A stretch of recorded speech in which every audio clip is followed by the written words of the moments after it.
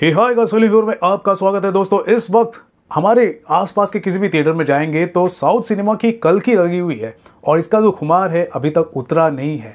ऐसे में south cinema से एक और ट्रेलर आ जाता है। जी हाँ तमिल सिनेमा से आता है तंगलान का ट्रेलर और ये जो ट्रेलर है, एकदम से चौंका देने वाला ट्रेलर मुझे लगा है बेसिकली इसके अंदर है हमारे चिया विक्रम।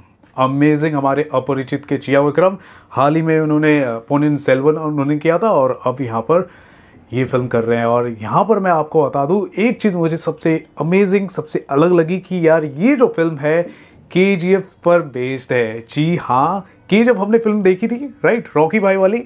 उससे कुछ अलग, यानी के की जो कहानी चल रही है, जो स्टोरी लाइन चल रही है, जो रॉकी भाई वाली थी, उससे भी पहले की जो कहानी है इस फ़िल्म के अंदर दिखाई जाने वाली है। जी हाँ एक ऐसा ट्रैवल है जो मतलब बहुत ही ज़्यादा संघर्ष कर रहा है, मेहनत करता है और उनकी ज़मीन को अंग्रेज़ जो है अन्याय करते हुए हड़प लेते हैं। क्यों? क्योंकि सोना निकालना है। जहाँ पर वो रह रहे हैं, वहाँ पर सोना है।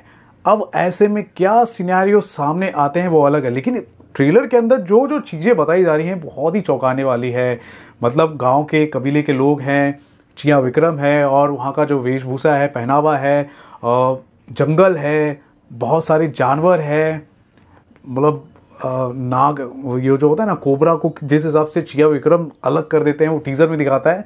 और यहाँ पर आप देखोगे ट्रेलर के अंदर तो यार खतरनाक यार। मतलब अलग लेवल का उन्होंने एक्टिंग की है और जिस हिसाब से जो सिनेमाटोग्राफी नज़र आ रही है, मुझे बहुत ही लाजवाब नज़र आ रही है।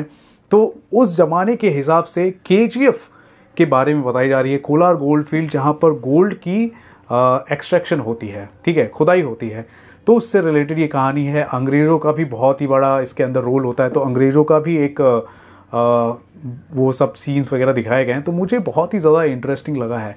सबसे बड़ी बात यह है कि फ़िल्म के अंदर चिया विक्रम है और चिया विक्रम की जो लुक होती है एक्टिंग होती है और किसी भी कैरेक्टर में ढलने की जो कला होती है ना, चिया विक्रम से कोई निभा नहीं सकता और यहाँ पर वो करते हुए नज़र आ रहे हैं, जो बहुत ही ज़्यादा इम्प्रेसिव मुझे लग रहा है। जो दोस्तों, हमने के देखा था, वो एक फिक्शनल कहानी थी, लेकिन यहाँ पर कुछ अलग ही लेवल का कहानी है और इसके कुछ डॉक्यूमेंटेड प्रूफ भी अवेलेबल हैं, अगर आप देखोगे, अगर किसी पुराने आर्काइव में जाकर आप देखोगे तो। तो ये चीज़, ये सेटअप जो है, बहुत ही ज़्यादा इंटरेस्टिंग लग रही है। मैं ये कहना चाहूँगा कि साउथ फ़िल्म इंडस्ट्री के जो डायरेक्टर्स हैं, या फिर फ़िल्म मेकर्स हैं, वो अलग लेवल का सोचते हैं और यही वजह है, जब भी वो फ़िल्म लेकर आते हैं तो लोगों को बहुत ही ज़्यादा सोचने पर मजबूर करती है, बहुत ही ज़्यादा एक्साइटेड कर देती है क्यूरियस कर देती है कि यार, वो क्या बना रहे हैं। और यही ऐसा होता आ रहा है। आप देख लो कल की आई अब यहाँ पर ये फ़िल्म आ रही है तंगलान।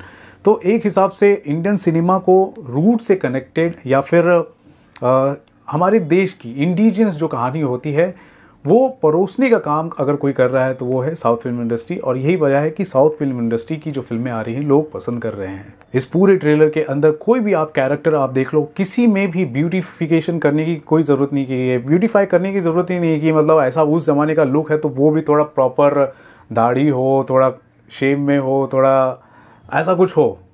ऐसा बिल्कुल नहीं यार, मिट्टी लगी हुई है, एकदम पसीने से लथपथ, बाल कहीं से भी उग रहे हैं। लुक मतलब रियल एंड रगेड लुक में नज़र आ रहे हैं सारे के सारे कलाकार।